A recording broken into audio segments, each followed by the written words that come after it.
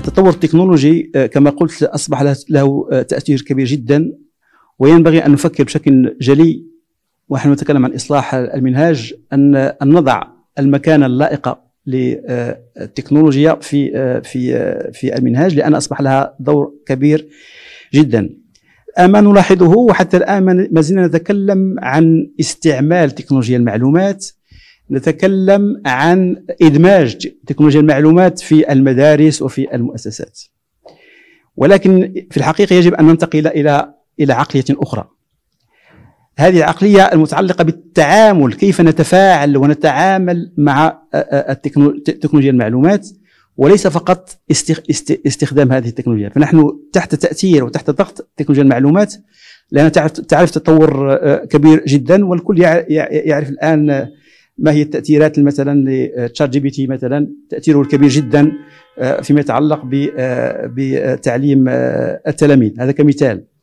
غدا سيكون لنا مدارس وجامعات يعني مملوءة بالشرائح الإلكترونية وباللاقطات الإلكترونية وبالشاشات الذكيه وتتفاعل وتؤثر وتؤثر في العملية التربويه وفي العملية التعليمية.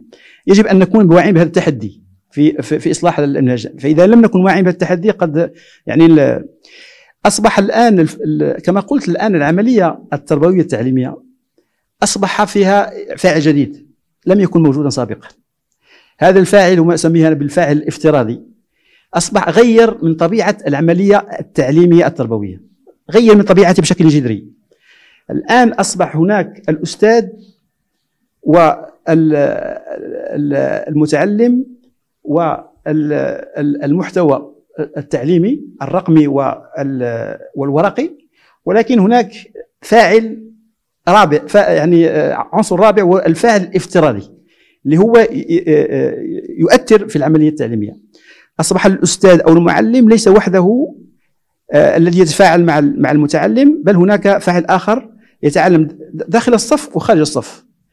آه، ويؤثر بشكل كبير جدا نظرا لأنه عنده الولوج إلى معلوم إلى آه، قاعدة معطيات كبيرة جدا. الآن نتكلم عن عن big data بمعنى عنده مع معلومات لا تتوفر حتى على الأستاذ ولا تتوفر حتى على مستوى الجامعة أو على مستوى المدرسة.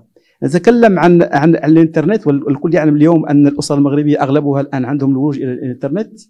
أصبح هذا كذلك يشكل آه، تحدي آه، كبير جدا.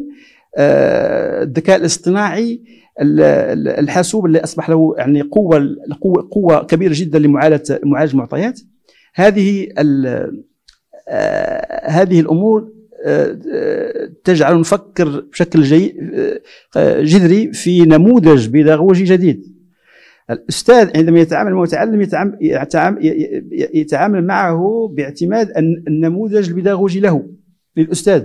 ولكن في نموذج بيداغوجي آخر للتكنولوجي لتكنولوجيا المعلومات. فكيف نوفق ما بين ما بين هذه هذا النموذج النموذجين المختلفين؟